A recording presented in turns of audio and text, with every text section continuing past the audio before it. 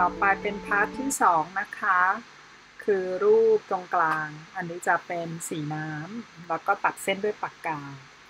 นะคะ โดยที่ตัดเส้นไม่ละเอียดเหมือนภาพลายเส้นเมื่อกี้ที่เราวาด ก็เริ่มต้นจากการร่างโครงสร้าง ก็เน้นที่ประตูนะคะ ซึ่งเป็นจุดหลัก แล้วก็เป็นจุดสังเกตสำคัญ ถ้าจะดูคลิป การร่างแบบเต็มๆนะคะ ให้ดูที่ part หนึ่งนะคะแต่การร่างของภาพนี้นะคะก็เออไม่ต้องใส่รายละเอียดมากเหมือนภาพหนึ่งด้วยเอาแค่โครงสร้างคร่าวๆนะคะ เพราะว่าเดี๋ยวเราก็จะลงสีกันเลย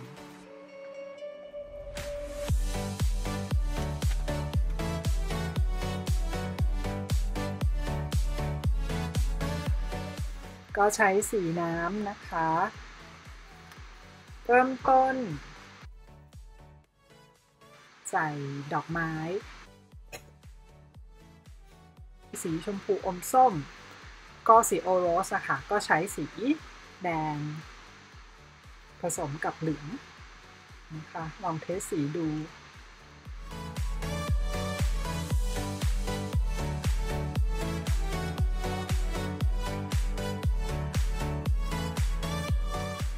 พอผสมสีได้อย่างที่ต้องการแล้วนะคะ ก็เติมน้ำนิดหน่อยนะคะแล้วก็แต้มไปตำแหน่งต่างๆ โดยที่อ้างอิงจากในรูปถ่ายนะคะ โซนดอกไม้ก็ใช้การแต้มนะคะ ก็คือแตะพวกการเป็นจุดๆๆลงไป ต้องการขนาดใหญ่ก็กดลงไปแรงหน่อยให้พวกกันแผ่ลงเยอะๆนะคะอันนี้ก็เริ่มมีผสม ชมพูเข้าไปด้วย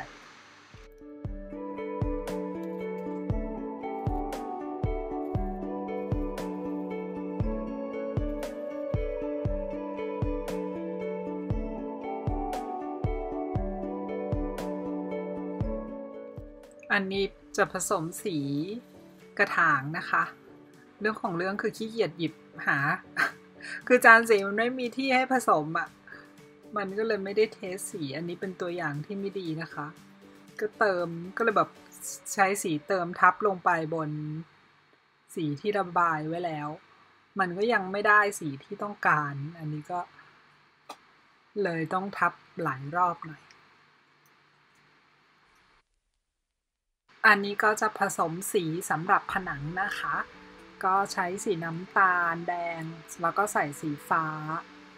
ฟ้าประมาณฟ้าไซแอนนะคะ ใส่สีฟ้าไปนิดนึง ผสมกันก็จะเป็นน้ำตาลอมเทาๆ แต่สีจากสีตัวอย่างนี้คือผสมยากมากนะคะ คือจริงๆแล้วเอ่อถ้าจะผสมให้ได้สีตามรูปเลยอะค่ะ มัน มันจะแบบบอกยากว่าจะใช้ปริมาณสีไหนผสมกับสีไหน กิบก็เลยเลือกสีที่ ทุกคนน่าจะผสมง่ายหน่อยนะคะสีหลักๆนี่ก็คืออน้ำตาลผสมกับไซแอนแค่นั้นนะคะ ตรงไหนที่ต้องการให้อมเทา ก็ใส่ฟ้าเข้าไปมากขึ้น ตรงไหนที่ต้องการให้เป็นน้ำตาลก็ใส่เสีน้ำตาลมากขึ้น แค่นั้นเองค่ะ อันนี้ก็จะเริ่มผสมสีเขียว สีเขียวอยากจะให้เป็นเขียวอมดำๆก็ใช้สีเขียว แล้วก็เติมสีม่วงลงไป แต่ด้วยจานสีอันนี้มันไม่มีสีม่วงอะค่ะ ก็เลยเติมสีน้ำเงินกับสีแดง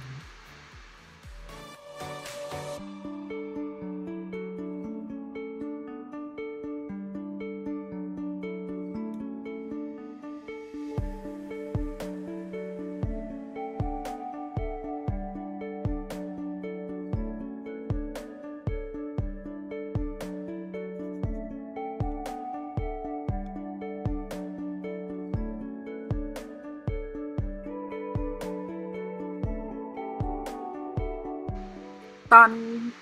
แต้มนะคะ ก็ลองสังเกตแนวใบแล้วก็ใช้ปลายผู้กันนะคะ พอแต้มสีแล้วก็ให้มันได้ฟิลของของใบด้วยนะคะ ว่ามันแหลมไปทางไหน อย่างเช่นดอกก็เหมือนกันดอกมันก็จะแบบหันไปข้างเดียวกันนะคะ ความความแหลมแหลมของกลีบเฟื่องฟ้าค่ะแต่พอดีดอกมันจะเป็นช่อๆ ก็ไม่ค่อยซีเรียสแต่ใบจะช่วยได้ ก็คือแต้มให้มีปลายแหลมชี้ออกมา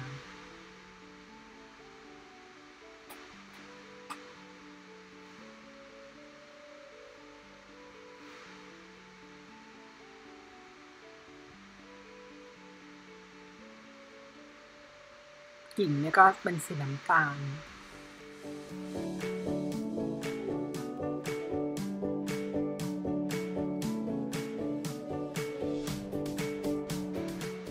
ใส่สีดำในช่องหน้าต่างนะคะ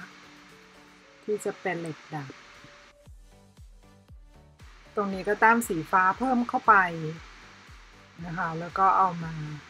มันก็จะเป็นเทาอมฟ้ามากขึ้น แล้วก็เข้มข้นขึ้นนะคะก็มาเขียนเงา แล้วก็รายละเอียดตรงประตูหน้าต่าง นี้ใส่สีฟ้าไปตรงท้องฟ้านะคะ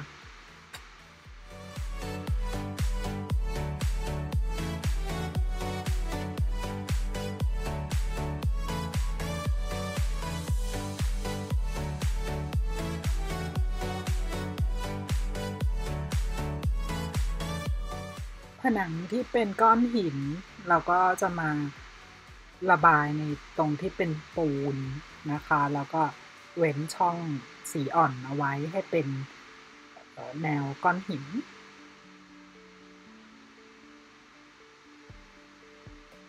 เวลาลงสีน้ำอะค่ะก็คือลงสีที่อ่อน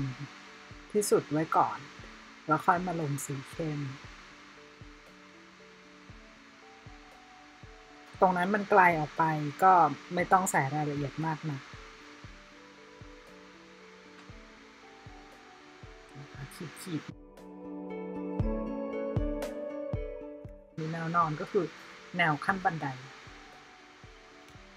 ก็เรียบร้อยแล้วสำหรับการลงสีนะคะ จากนั้นก็เอาปากกาตัดเส้นนะคะมา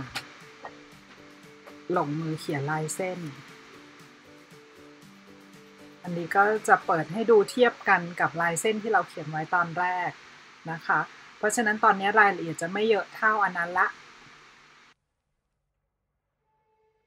อันนี้ลืม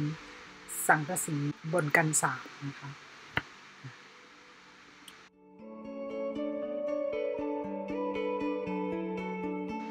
เราใส่แค่แนวขอบขอบ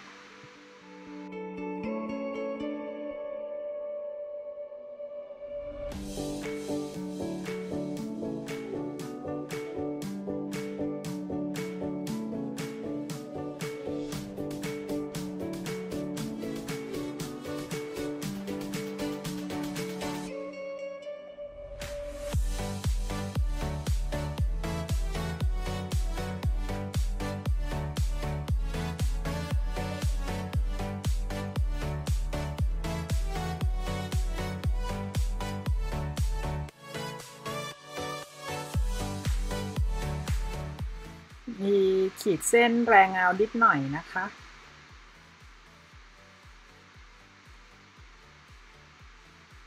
ขอบดอกไม้ก็อยากอยากอยากตามแนวแนวที่เป็นดอกไม้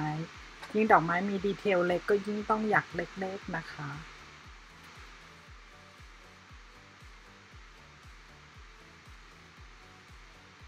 ไม่ต้องใส่ครบทุกดอกนะคะ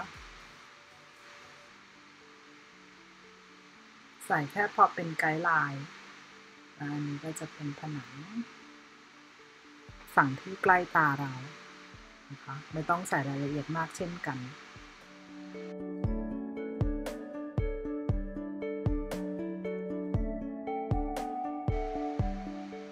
อันนี้ดูสีเขียว ขาดหายไปก็เติมนิดหน่อย แล้วก็เริ่มใส่ลายเส้น ทางต้นไม้ด้านหน้า อันนี้มันจะอยู่มันอยู่ใกล้ตานะคะ ก็เขียนให้มีรายละเอียดมากกว่า ช่อเฟื่องฟ้าข้างบนนิดนึง เขียนใบเป็นใบ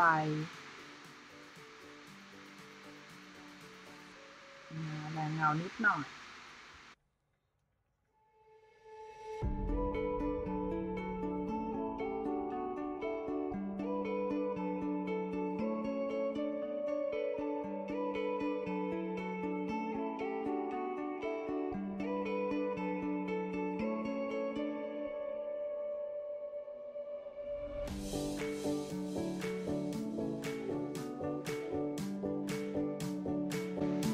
ลายเส้นเนี่ยค่ะจะเป็นตัวกำหนดรูปทรง สีเราก็อาจจะป้ายป้ายเบี้ยวบ้างออกนอกเส้นบ้างนะคะ ไม่ต้องซีเรียสเพราะว่าเราต้องการสไตล์ให้มันดูเบาๆ สบายๆ ปล่อยๆนะคะ ก็ใช้เส้นปากกาเนี่ยแหละค่ะมาเป็นตัวเน้นมาตัวปรับให้รูปร่างมันเข้าที่เข้าทาง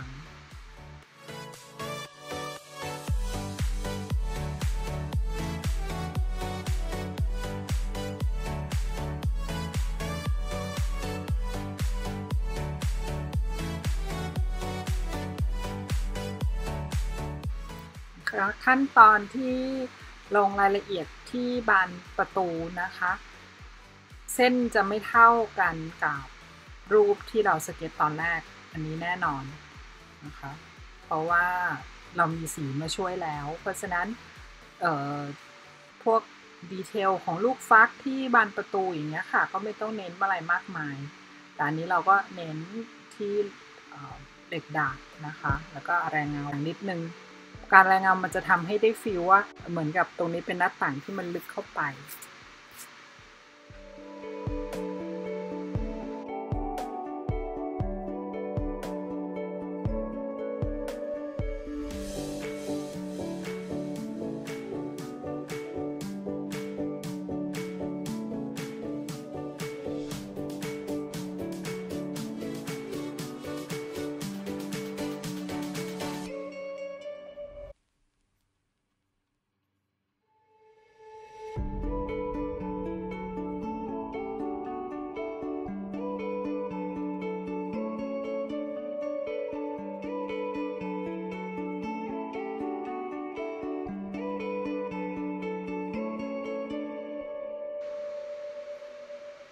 พวกอิฐนะคะ ก็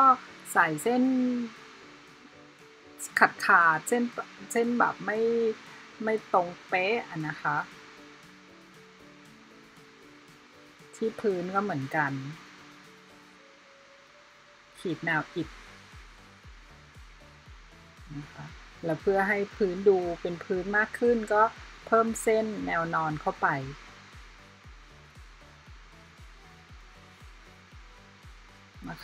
ขั้นตอนนี้ก็จะเป็นการเพิ่ม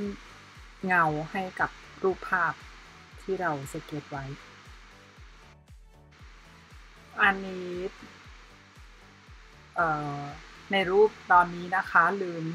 ดอกไม้ที่กระถางที่สองฝั่งกระถางฝั่งซ้าย กระถางที่สองกับดอกไม้ที่ร่วงอยู่ตามพื้นค่ะเดี๋ยวถ้ายังไงดูจากภาพนิ่งเนาะ ก็ขอบคุณทุกคนที่ชมคลิปวิดีโอนี้นะคะ ฝึกแล้วเอามาอวดกันด้วยนะ ขอบคุณค่ะ